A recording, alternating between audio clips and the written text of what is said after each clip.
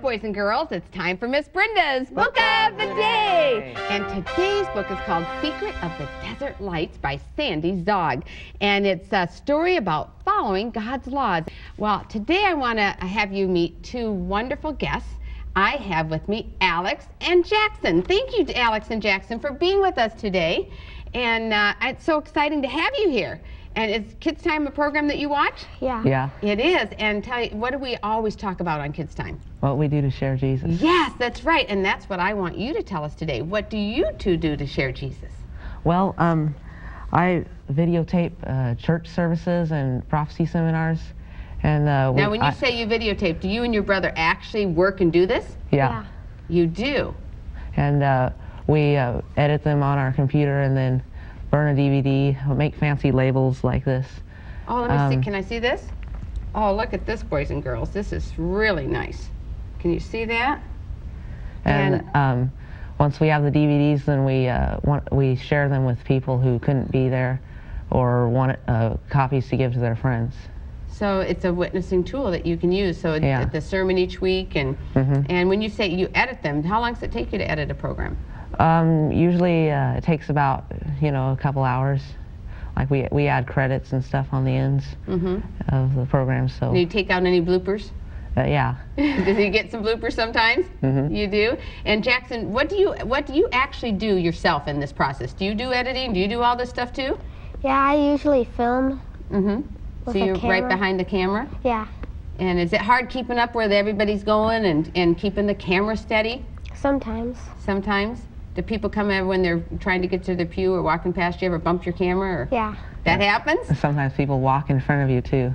Like, Oh. yeah. So that's good, good editing takes care of that. Could you have some good audience shot or B-roll to Yeah. put in there? Yeah. hmm That's awesome. Well, um, I'm really excited about what you're doing because I think it's wonderful, not just for the people that your normal uh, visitors that couldn't, uh, I mean, your members that couldn't come because now they can see the church service, but how about the ones that maybe are homebound because of illness that they're they can't ever come to church anymore? You're bringing church to them, Yeah. and uh, and you also give it out to visitors, right? Mm-hmm. So that's Sometimes we want to we want to give them a DVD so that they can watch a previous message they missed or whatever. hmm Oh, that's wonderful. Well, you actually brought um, actually a video roll for us, right? Yeah. I think um, they have a video roll showing exactly what they do, and let's take a look at that right now. So what do we do for Jesus? Well, in our little ministry, we make video productions. If there's a prophecy seminar, a camp meeting, or just a special church service that can help spread the gospel, we want to be there to film it and then share it with others. Just this year, we've produced four prophecy seminars, a camp meeting with C.A. Murray, and countless special church events, and we even filmed a wedding. We try and share these video productions with as many people as we can. Often, people want copies of an event so they can share those with others. Sometimes they want to just view the events again, but most often, we like to visit those who've missed a church service to give them a copy of the DVD. Many of our videos are shared on our website, desiremedia.org. People can either view them online or have us mail them a DVD. Speaking of our website, we're in the middle of filming a Revelation seminar right now. We've been making our own study guides to go along with this seminar called Revelation Made Simple. You can see all this on our website. If your church has a special event that you would like to have filmed, maybe we can help you too. We use multi-camera production equipment and love to travel. In all this, we have one thing on our minds. That is to see our Savior Jesus return soon. May God bless you as we work together in sharing the gospel. Wow, what an incredible ministry. Boys, I am so proud of you. You are really doing a lot for Jesus. Tell me, Jackson, what project are you working on now? Um, it's a Revelation seminar. Mm-hmm. And you have um, a nice case that that is in. So now, do you sell some of those?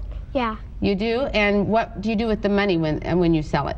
We put it in our ministry. So it goes back to help keep doing uh, Yeah. more for Jesus. Yeah. I'm going to give you your DVD back. Let me just read a letter real quick. Do you like to hear the letters? Can you help me hold this picture up for me, please? And this letter is from Grenada. And uh, let's see if uh, if I can open it here. It says, Dear Miss Brenda, I love listening to you on Kids Time. I'm a Pathfinder. I was baptized when I was seven, but I'm nine. Uh, I'm 12 years old now. It says I really enjoy the Bible lessons, and I can't wait to get my lovely Bible. It said my dad died and but my mom loves me and so does Jesus. Please, Miss Brenda, keep up the good works. Love, Cade. And thank you, Cade, for that. And I'm so sorry your dad died. I'm so excited that when Jesus comes, there won't be any more death, right? We won't have that anymore. There's a letter here from Botswana, and it just says, Dear Miss Brenda, hello, I'm 13 years old. My name is Warana, and I hope I pronounced that right. And it said, I know that I'm um, I might be old because I'm 13, but I really love Kids Time and I love cooking and singing and I love telling people about Jesus and I want to join Kids Club because I want to learn more about Jesus. Love, Warana. Well, we will get those lessons right out to you. Boys, I want to thank you so much, Alex and Jackson, for being with us today and I want to encourage you to keep doing what you're doing for Jesus. Boys and girls, it's Kids Time to share Jesus.